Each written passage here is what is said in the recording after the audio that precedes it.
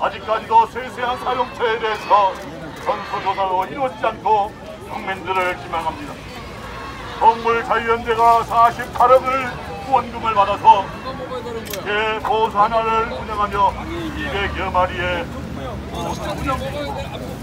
동물권 행동 카라는 1년에 44억의 후원금을 거두어서 보소 한